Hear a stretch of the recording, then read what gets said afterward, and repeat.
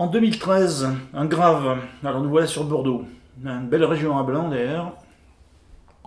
Alors en cépage, on devrait se retrouver avec des, des des Sémillons, peut-être un petit peu de Muscadelle.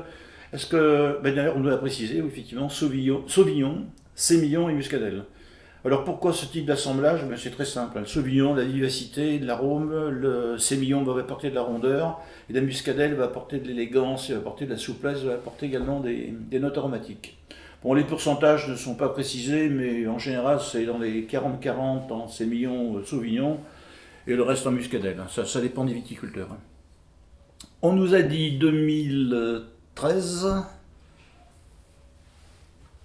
relativement coloré, pas trop, mais normal, puis pour un vin qui a déjà pris ses deux ans.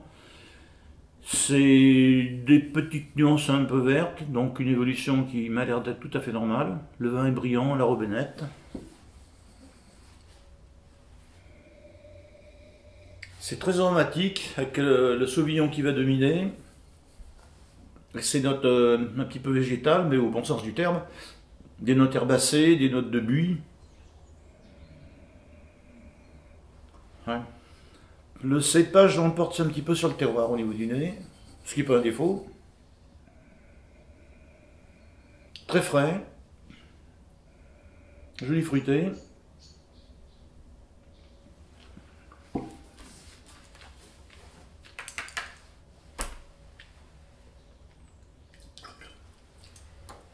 C'est sec, c'est vif, c'est nerveux, c'est assez long.